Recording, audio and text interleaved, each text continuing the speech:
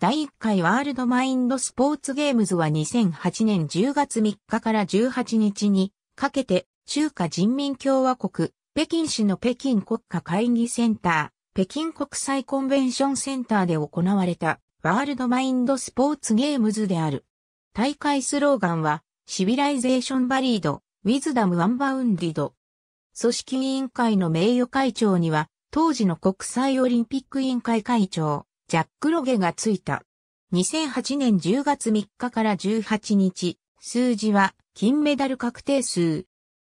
参加国、地域数、93、参加人数、1452人参加国、地域数、54、参加人数、338人参加国、地域数、60、参加人数、560人参加国、地域数、63、参加人数、288人参加国、地域数、31、参加人数、125人 ABHTTP コロンスラッシュスラッシュ www.2008wmsg.org スラッシュニューススラッシュ others スラッシュ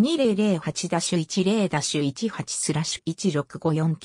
1654924.html2008 年10月26日閲覧メダル対象となる。正式種目のほか世界ブリッジ連合主催の閉鎖種目も行われた。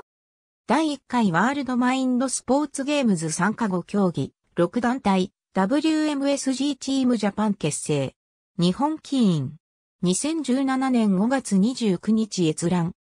各競技の参加人数は、5ワールド2008年12月号による。ありがとうございます。